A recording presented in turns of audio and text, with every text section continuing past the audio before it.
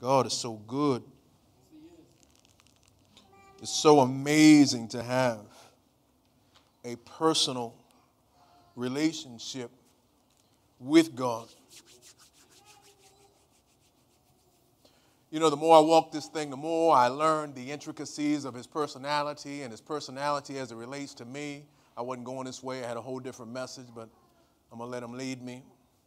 And sometimes when you have a relationship with someone for years or decades, sometimes you, you know, you hit little spots where it's a little stale. Sometimes it's, some things happen that you don't really agree with. The thing that I like about Jesus the most is if you happen to have a, a way of thinking that is slightly off center, he will let you know in a customized way so that you can make the adjustment. If you receive it, so that you can make the adjustment and immediately go higher. How many people know what I'm talking about on this morning? Now, I know the congregation is a little small on this morning, which means that it's a very specific message. If you're here on this morning, it is no coincidence. He's got something very specific to your situation on this morning.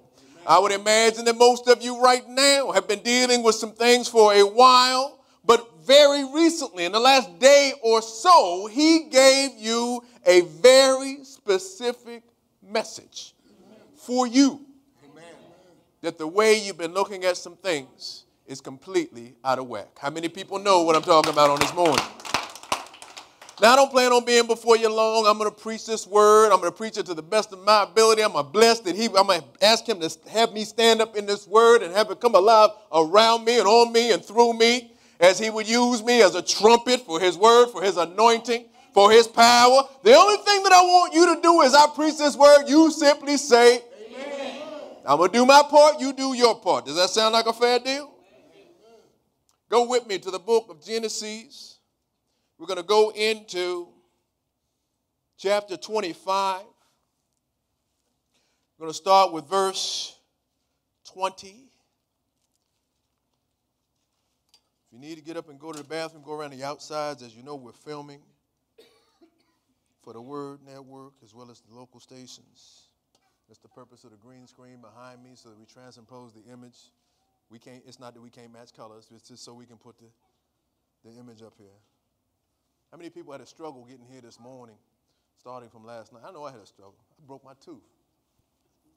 They were trying to tell me I shouldn't get up and preach this morning for TV because it looked bad. You know what?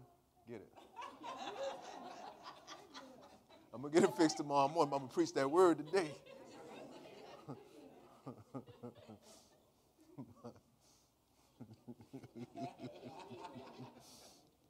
Get this side. How many people had a struggle getting here? How many people had some opposition? Raise your hands high. Don't be ashamed of that. How many people realized recently that the way you've been looking at some things is not really the right way? Amen. Amen. I appreciate the honest saints. Before you go to, I'm sorry, I said Genesis, what did I say, 25? Okay, before you go there, let me go here. Genesis 12, you don't have to go here. Genesis 12 and 2 reads, I will make you a great nation. I will bless you. I will make your name great. You shall be a blessing. I will bless those who bless you. I will curse those who curse you. And in you the families of the earth shall be blessed. This is the promise that God made to Abraham. The Old Testament addressed God as the God of Abraham, Isaac, and Jacob. These were the three that were in line that received the promises of God. And if you can reach that level in God, if you can ascend to that place, to that monumental dimension of faith in God, you also get to partake in those promises because you are one of the heirs, spiritually speaking. So basically, it is your birthright if you can get there to receive these promises. Many of us have received promises for a long time. We've been waiting on some promises for a long time. Some things that God promised months and years and even decades ago to some people. Some of you have almost forgotten about some of the things that God has promised, or at least attempted to, because it seemed to take so long to truly manifest in its fullness until it's almost like you're trying to put it in the back recesses of your mind so that if it doesn't happen the way you thought it was going to happen, you won't be any further disappointed. How many people know what I'm talking about on this morning? And recently, in the last few weeks, maybe in the last couple of months, you can start to see the manifestation of some of the things that he's promised, and you can see that the things are getting closer and closer, and you're seeing some things starting to, to come into focus. As some of the things have come more into focus, you realize that maybe one or two of those things don't look anything at all like what you thought you were going to get. Some things have changed, the pictures changed, some of the characters have changed. You've gotten yourself in a position where you're just trying to go with the flow. God, I'm just trying to roll with you and trying to trust you. And, and, and, and really, my relationship with you, God, is, is evolving so that I can have more happiness and joy in my life. And maybe I need to seek that happiness and joy from, from different ways than I thought I would while I'm serving you, God. How many people know what I'm talking about? It didn't show up. It didn't show up the way some of us thought that it would. And even in showing up, it seems like some of the things, or one of the things, may be in conflict. But the true reality is that the conflict isn't outside of you, conflict is inside you. The story of Jacob and Esau is what I'm going to address on this morning. Go with me, as I said, to Genesis 25 and verse 20. And the word reads Isaac was 40 years old when he took Rebekah as his wife. She was the daughter of Bethuel and the uh, Syrian of Padan and Aram, and the sister of Laban the Syrian. Try to say that three times fast. now, Isaac pleaded with the Lord for his wife because she was barren. She was barren. Now, this was Isaac, directly in line with the promise of Abraham his wife that he received was barren. He prayed that she would not be barren at the age of 40 years old. God blessed her. But she did not conceive until he was 60 years old.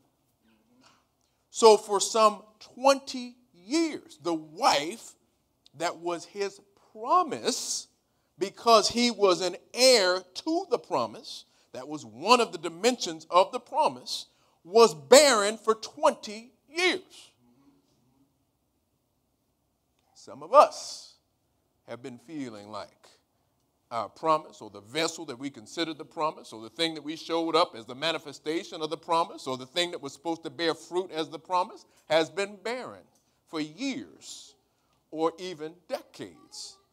And even though we prayed about that thing and got confirmation from God, and He said He was going to bless it, it's been a long time. It's been a long time. I would imagine for him, being Isaac, 20 years is a long time. It might have been some point where he thought, well, you know what, maybe I misheard God, or maybe I didn't understand what he said, or maybe it's not right now, or maybe it'll be like Abraham and I gotta wait until I'm 99 years old. By that time, I might not even really care as much.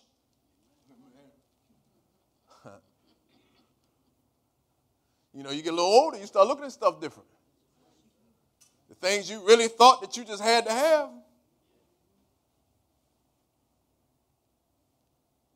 start to change it. That's where he was. But imagine where she was. You see, she was the vessel for the promise. For Isaac, it might have been a little bit easier because he was in line with the promise. He knew the history with his father and his grandfather. He knew that the wives of his father and his grandfather also went through a period of barrenness. So, wait a minute, God, what you're saying is that part of being in the promise and being in line for the lineages of the promise and the promises of the promise is really I have to go through this period of barrenness. A period of faith, a period of trusting you no matter what, a period of wondering if it's ever going to happen, a period of understanding that even if it doesn't happen, I'm still going to serve you, a period of wanting to let go of really completely serving you because it's not serving me. Oh my God, I didn't mean to. I should have warned you before I threw that jab. it's not always easy. And sometimes when you when you when you've been at one level for a while and you're trying to get to the next level, y'all stay with me. When you're trying to get to the next level, sometimes the spiritual warfare, the biggest fight is not on the outside, but it's on the inside of who you are. God, I want to serve you. I want to keep on moving. But it looks like this dimension is leaving me. And the way I thought I was going to get it, I might not get it. So maybe I need to go back and get some of what I thought I left behind. And even if I don't go all the way back, I, I, just go back a little bit. I just go on the fringes a little bit because I, am missing this piece and, and, I'm getting a little older. You know what I mean? I might, I might be turning 30 next year or 40 or 50 or 60 or whatever the milestone is, and I might miss that piece. And let me just go back and savor it just for a moment, God.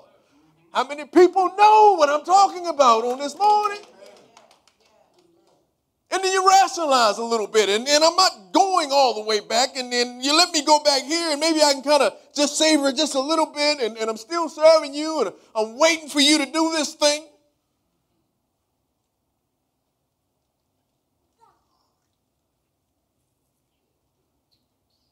How many people know? Let me go a little further in the word because y'all not really, y'all preaching it better than y'all are saying amen. I'm not, y'all not really holding up your end of the bargain. Let me go a little deeper. God pleaded with him. And, and she was bad because she was barren, and the Lord granted his plea. And Rebekah, his wife, conceived. God granted his plea.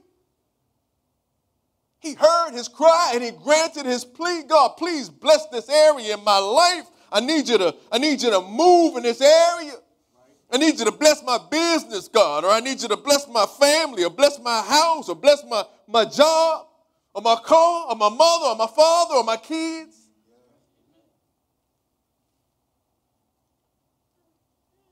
Something. Guarantees in one of those categories. Or something to do with one of those categories. It can't be but four or five different categories, right? Amen. He probably he know what you what you're gonna pray before you pray. I need you to bless this area. She conceived. She conceived. And whatever you prayed about for the vessel, for your promise, it conceived. The promise was imparted in that thing. Or maybe you were the vessel for the promise. The promise has been imparted in here. You're pregnant with the promise in your belly, and you've been pregnant for a long time. She conceived. Look at your neighbor and say, She conceived. But the children struggled together within her.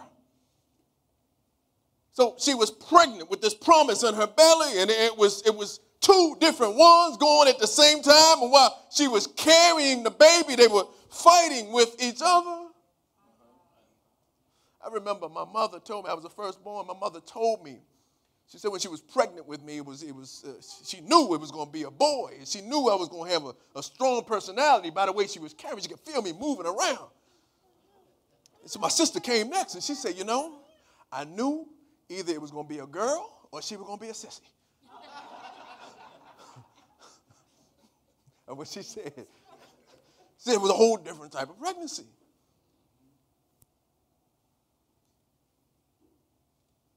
This woman had both at the same time. They were struggling with each other inside the womb. They were fighting with each other. She waited 20 years to conceive, and then it was a, a fight, a war on the inside of her. A war. The promise was finally conceived and, and going through the process of being birthed, but there's been a war on the inside. And most of you right now, you, you're waiting for the promise to be born after so long of being barren, and it's finally, finally been conceived. And the closer you get to the birthing of that thing, the more it feels like it's a war inside of you. How many people know what I'm talking about? That's how she felt. That's what she was dealing with. So she she she went to God. She didn't even go to her husband. She went to God and said, Well, God, if everything is okay, why does it feel like this? I love that part. She went to God sincerely. No fronting, no fuss, no muss, no trying to fake it, no being super church. She went to God by herself. She wanted to understand. And it was a time, thousands of years ago, before modern medicine. She probably, you know, after waiting so long for the conception of the promise, she wanted to make sure that, that it wasn't some sort of mutant, uh, uh, probably didn't even have that word, but, but something crazy going on to where it would injure the baby or the baby. I didn't even know it was twins. She probably didn't. They wouldn't have no way of knowing that. God, if it's all well, if everything is what you said it is and what it's going to be, why? Why is there so much war going on inside of me?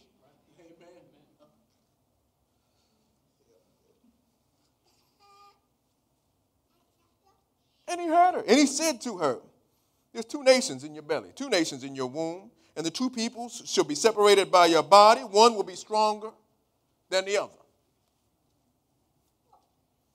And the older shall serve the younger. That's profound, especially at this time in history, because if you were the eldest, if you were the firstborn, you received a double portion of the inheritance. And the younger children would be your would, your, your servant. They would, be, they would be submissive to the authority that was given to you by your birth position. So for God to tell her that was something that was mind boggling at that time. The word goes on to say her days were fulfilled for her to give birth, and indeed there were twins in her womb. By the time she found out there were twins, and you have to understand that that twins were were regarded as a, as, a, as a special blessing at this time in history. When she gave birth, the first one came out red, and, and it was hairy all over, and they, and they called his name Esau. Esau sounds very much like the Hebrew word for, for hairy. He came out full of hair, red hair. And right after Esau came out, Esau, hairy and red and, and, and wild. His brother came out, but he was, he was reaching for the, for the heel of his older twin brother, older only by a few minutes. He was reaching for his heel, and his name was Jacob. And it sounds like the, I'm sorry, his name was uh, Jacob, thank you, which also sounded very much like the Hebrew word for heel. But not only, as we would call it, heel on your foot, but also heel as far as not a really good person, a shady person, a little shyster. So you had the wild one who was hairy and red, and you had the one that was little mild mannered, but he was kind of slick. And these were the two brothers that came out fighting. They were fighting before they even came out of the mother's womb. And Jacob was 60 years old when they were born. And the word goes on to say the boys grew, and Esau became a skillful hunter. He was an outdoorsman. He was, he was wild. He liked to be outside with, with nature and, and wanted to be in the woods and hunting and, and, and, and, and just only had a mind for these types of things. Whereas his brother was more reserved and stayed closer to home and was kind of more like a, I don't want to say a mama's boy, but he gravitated more toward the mother. He learned how to cook, and he was around the tent all the time. So he was more the mother's favorite. And Esau was the wild man. He was out in the woods, and he would go hunting and, and would bring home food and cook wild game, and his father really liked that. So one was favored by the mother, and the other was favored by the father. You see, sometimes as parents, even if we don't mean to, we will play favorites. Even if we don't think that they see, they do see.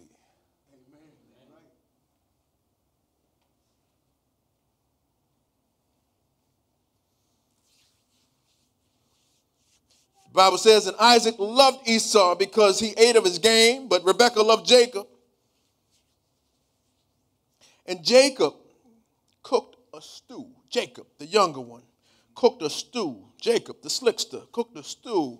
And Esau, the wild one, the one who had more of the wild nature, came in from the field. And I believe he probably hadn't had much success on that day of hunting because he was weary and he was, he was very hungry. And Esau said to Jacob, Please feed me with some of that red stew because I'm weary and, and, and I'm hungry. And Jacob said, I'll feed you, but you got to give me your birthright. And it kind of puts me in mind, being the eldest, and having a younger sibling, especially a sister. You know, sometimes a younger sibling will kind of taunt you with something if they think they have something that you want, and they'll try to make you an outrageous deal, especially when you're young. You know, give me that last piece of bubble gum. Give me five dollars. They will give you an outrageous demand to get what it is. So it's not that far outside of nature to think of it that way as far as sibling rivalry. But these were grown men, and the stakes were much higher as for what the younger one was asking for. He was asking for his birthright. And by Hebrew law, not only tradition, by Hebrew law, the eldest at that time would get a double portion of the inheritance. So basically, what he was asking for was twice what he would have gotten. But not only twice of what he would have gotten, he was taking that extra portion from his eldest brother. Now, his brother, because he was more. Uh, more carnal minded. He wasn't thinking about the long term consequences and, and what it would mean down the road. All he was thinking about that in his carnal nature, right at that moment in time, he was hungry. He wanted some of that stew and he wanted to have it. So he said, You know what? Okay. Jacob said, Swear to me. Swear to me you will give me your birthright. And at that time in history, a verbal agreement, even without a witness, was binding. Esau swore to him that he could have his birthright. And Jacob knew exactly what it meant.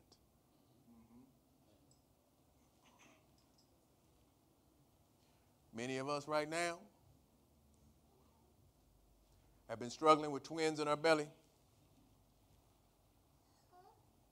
And not just the fact that they've been conceived and you're carrying them in the womb, but it seems like they've been born inside of you. You got one that's got red hair and very hairy and wild nature. Firstborn, your carnal nature from before. And you got one that's a little milder mannered. Now, the first one, because it was born first, really, by all rights, should have the birthright, but you got the one that was born after that is really trying to get in the first position. So if I switch it around and make it look like it's your natural man versus your spirit man, your natural man, which has been gravitating toward that which is carnal, that which is wild, that which is, is more in the nature of your carnality, and you've got the younger one, which is your spirit man, that is, it was born shortly after, but is still seeking to be in that first position. And the fight or the war with us right now is because some of us have been so tired of waiting for the manifestation of what God is saying in full bloom that He's placed us in a way to where it seems like we're so hungry and so weary in our natural state of being while we've been out hunting in our carnal frame of mind that we just want to sell our birthright for the equivalent of a bowl of stew. How many people know what I'm talking about on this morning? And see, in, in Esau's mind, he wanted that stew right now. And it looked so good and it smelled so good. And he'd been out there in the woods hunting for a long time. And, and, and I know I'm supposed to get the birthright, but it doesn't mean anything right now because I've waited so long. And the only thing I can concentrate on is the fact that I'm hungry right now. How many people know what I'm talking about? And I'm sure he rationalized in his mind, you know what, if I give it to my little brother, doesn't matter. What does it mean? If it's double, I still get half of it. It doesn't really matter. But the most important thing that I don't think he realized it wasn't just a double portion of his father's inheritance that he was forfeiting. What he forfeited by signing over his birthright. And see, this is where some of us get tripped up you know what? I got God. I've been walking with you so long, and even if I miss a step, it's okay, you know, because it looks this way, and I know where you've been, and, and I'm still okay right here. And, you know, even if I have to repent and look back, and maybe if I slow my roll a little bit for where I'm going with you, it's some stuff that I, I felt like I missed before, and I, I want to go back and taste some of that stew one more time. Ah, remember our deal. You're supposed to say amen when I preach it. Amen.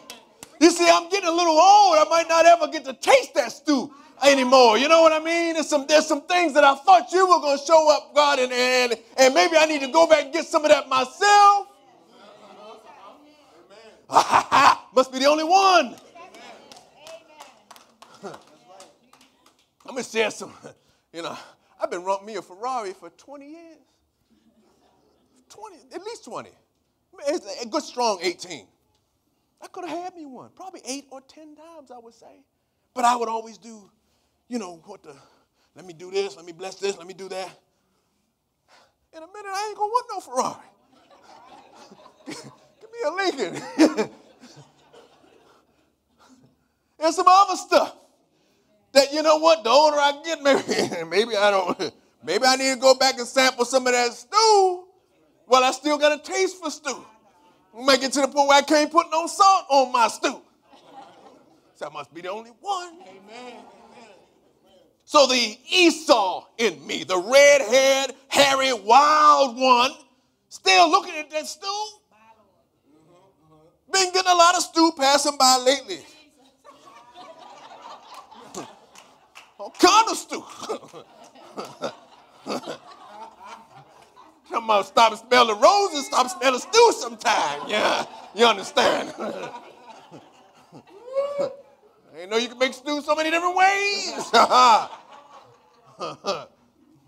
Beef stew, turkey stew, pork stew, vegetarian stew, stew with tofu, stew just for you, however you like stew.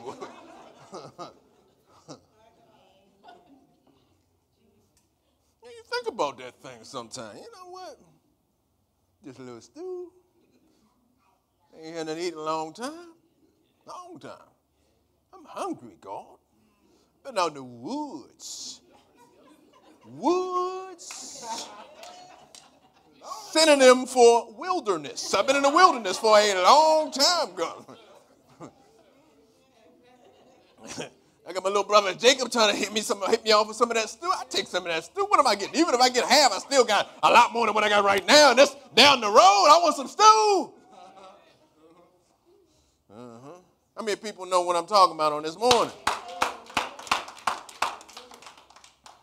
Mm-mm. You see, the enemy will come and deceive you.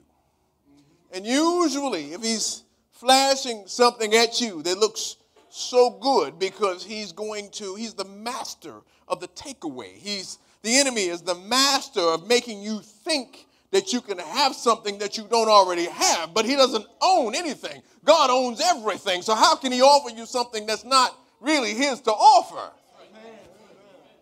So if you're seeing something and you know it's more on the side of the carnal nature and it's outside of the will of God and it seems tempting, you need to be very careful because it's not exactly as it seems. How many people know what I'm talking about on this morning? If I reach in my pocket right now and give you, give me, give you my car keys, I say, how much money you got in your pocket? Anybody got $20? See, you took too long. I had to give you my car right there. I tossed you my car key for $20. You'd have jumped all over it, right? If I was real.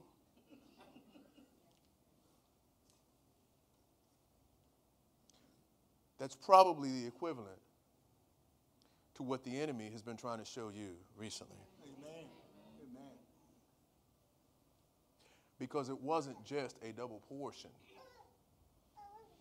of his father's inheritance that he was forfeiting. More importantly, as the firstborn, he had a birthright to the double portion, but he also inherited from Isaac, his father, the privilege of being in everlasting covenant with God.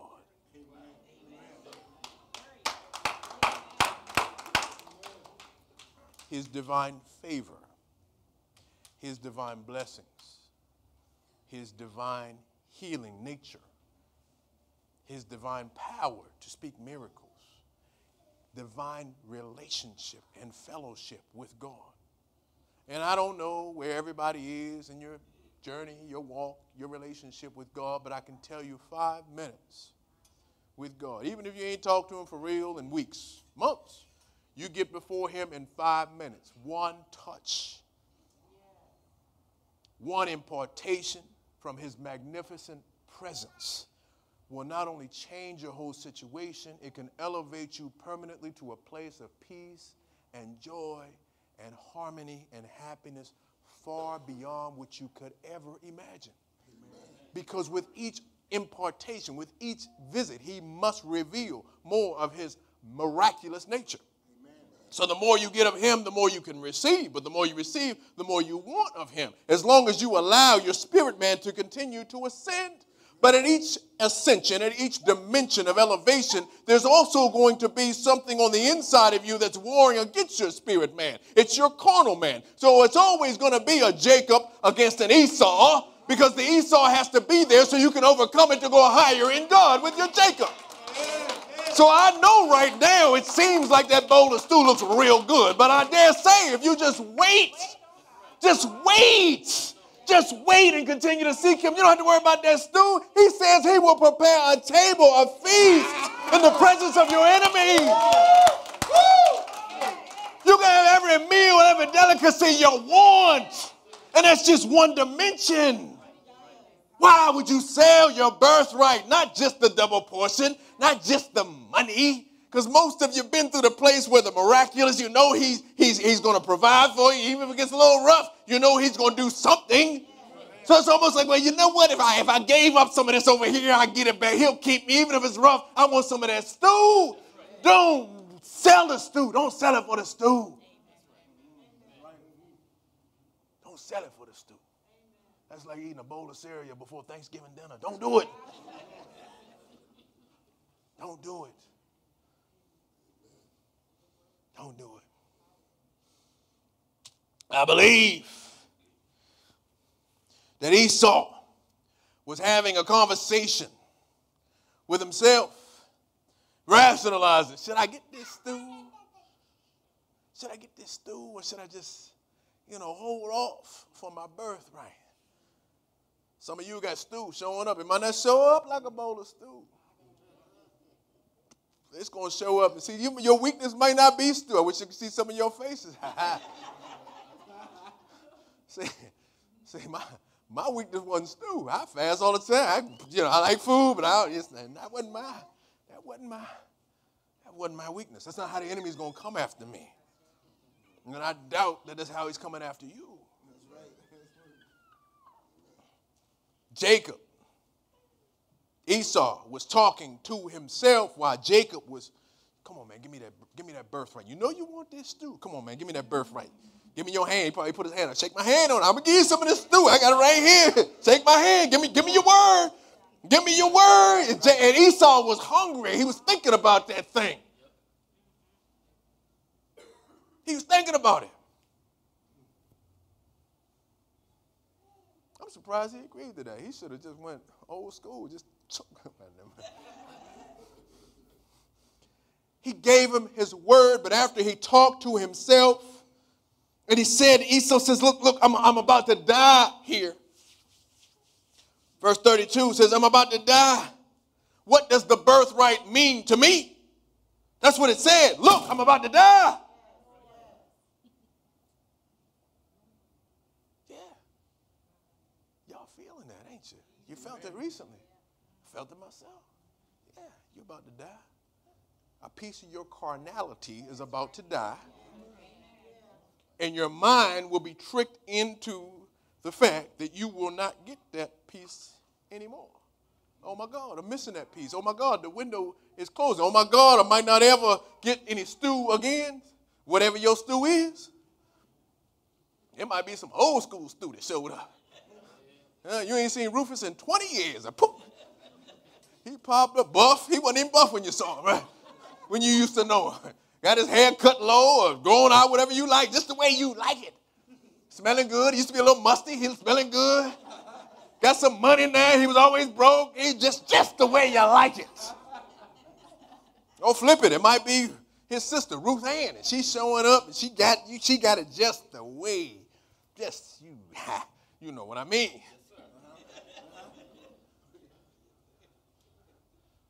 Couldn't even make toast. Now she cooking five course meals.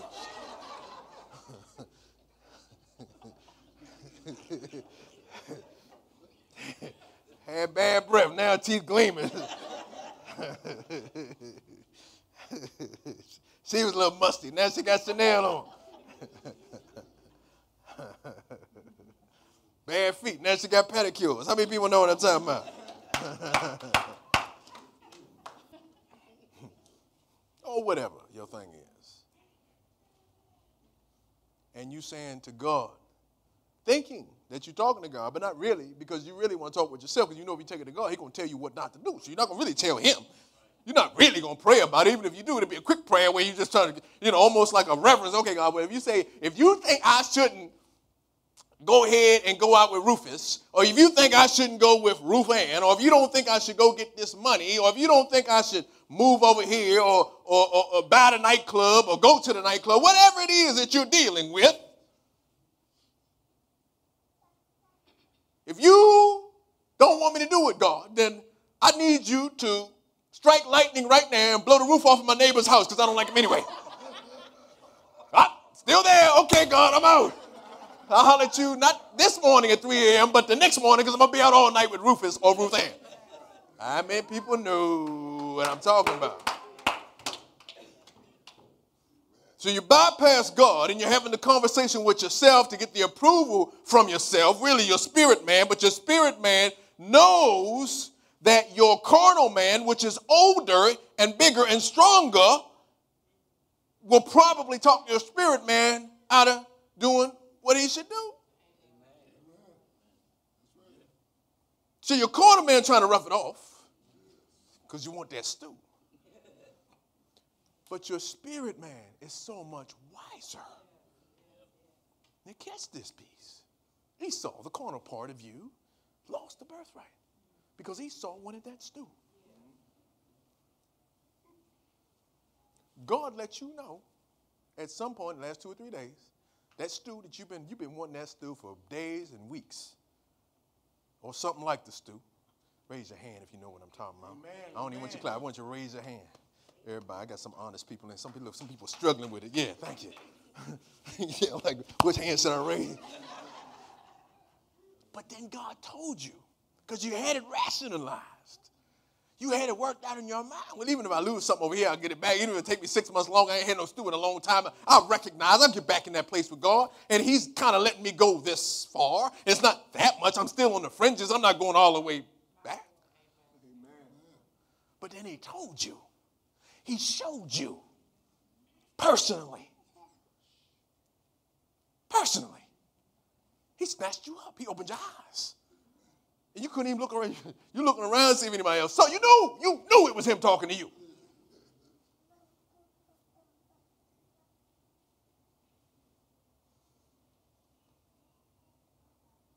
And he scared you. Because he made you realize what you really would be losing. And then you thought about that thing. And you realized how stupid it was. And you repented in your heart. You still haven't had a chance, most of you, to really go before him and get it totally right. But you know, you, you know you're going to. You got to. You ain't got no choice. Because he showed you what you're really losing. He showed you how stupid it was and, and how, how ridiculous it was from the way he's seeing it and, and how blessed you are to be in fellowship with him. And he was mad. He was, he was annoyed. He was, he, he was little upset. Now you know that if you get right and go before him, he, you know in your heart, because they put that there, but you know that you can't, you can't do what you were thinking, even if you've been kind of playing, you can't even think that way anymore. And you wonder if you pushed it too far, how far back he's going to set you. Ah, remember our deal? What's our deal? I preach it and you say. And Jacob said to him, Swear to me, Esau. Swear to me that you're going to give me that birthright. Swear. And when he gave me this word, the way I was looking at it, it seems like it would be outside of yourself, but really, because he's so amazing. Once you have the repentance in your heart, God, I'm sorry, I didn't really know. I didn't understand. I wasn't looking at it this way. You know I love you, God. I want it to be right, and it doesn't even make any sense. You know I wouldn't do this if I had my right mind. Amen. So what he showed me was, it's not Esau is one and Jacob is the other. The two brothers are really inside of you and me. And he gave me the choice to either sell the stew, sell my birthright for the stew, or to keep my birthright as the eldest. But the mere fact that I'm even having this conversation with you about the conversation he had with me, that means that some of us, if not all of us, at least in our mind, already sold the birthright for the stew, even though we didn't realize what we were doing. But he already knew what you were going to do. So really what he did was allow you to do it by, by you selling the birthright to the firstborn, the hairy wild one. You were allowing the second one, the milder nature, the one that really wanted the birthright, which is your spirit, man. Your relationship with God now has that first position. Ha ha! So the one that had the birthright now is the one that should have had the birthright all along. All you have to do is seek him, say, God, I'm sorry, and now allow my fellowship with you to have that first and only position. That way I can get every promise you made to me and more. So, what I'm saying to you on this morning is I know that you've been tempted with the equivalent of selling it for a bowl of stew. Some of you might have given the whole thing away. Some of y'all might have thought about it. Either way, the stew was presented. Some of y'all might have been getting stew for the last 10 years. Put the spoon down. Push the stew away. Seek God with the younger twin that's in you. Get the birthright in you so that you can get every promise and more. But the most important promise is your fellowship and your sweetness and your covenant and your relationship with Him. If you stay in that place and continue to ascend, you'll get every promise that He's made you and then some. Amen. Give the Lord a praise. Come on, praise team. Get one more.